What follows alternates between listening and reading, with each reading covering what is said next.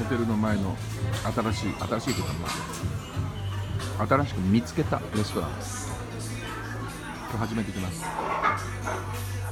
これだけ全部で800円しないですよ。ここで食べよう毎日と思いましたね。これだけで800円しないですよ。ちょっと食べきれないかもしれないですね。すげえ安い。